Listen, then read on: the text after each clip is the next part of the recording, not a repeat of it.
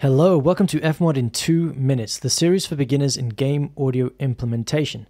Today, we're looking at the async feature, which is located down here next to the volume master. Here I've got two pieces of music, I've simply doubled them, and I want to create a little bit more interest every time it loops. So I've put one of them just offbeat, so it sounds like it's having this really cool delay feature.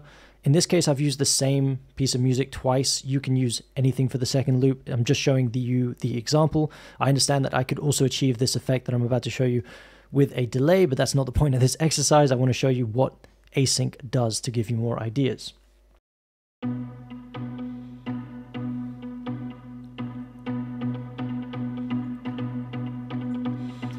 But of course, having the loop region means that I have this big bit of blank section, big bit of silence for the second one, which sounds a little bit off when we loop back around.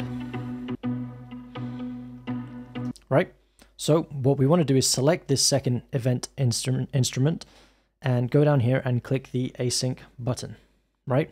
What this means now is that as the cursor goes over the start of this event instrument, it will trigger a playback of the entire event, no matter where this new cursor moves to. For example, if I move to the end, and I'll just mute this for the sake of it. You'll see an event instance has been You'll see a play trigger has happened. It's playing the entire event. Regardless of where this is going, it will finish. You can also notice that now there are two playing at the same time because the cursor has moved over the start twice. We don't want this because this sounds messy. We just want one instance playing at one given time. So down here next to trigger behavior, we're going to open this panel up and we're going to turn the polyphony, which is at the moment set to infinite, down to something like 1. The next thing we want to do, we want to make sure that the stealing, so the replacement, if there's more than one instance triggered simultaneously, is not happening, right? Because if it goes to oldest, it means it will still be replacing the previous instance of it in the middle of a play session, for instance, play instance, which might sound jarring and, you know, off. So we want to turn that to none so that even if two or three or more instances are triggered at the same time, it finishes playing that one original instance first.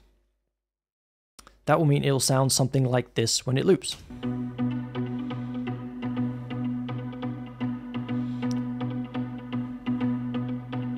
As you can see, no second instance was triggered and this one continues to play. And that's it. I would highly recommend you experiment with different layers, maybe more than one layer with the async option, maybe higher counts of polyphony. And hopefully this gives you um, some inspiration in whatever situation you find yourself in right now.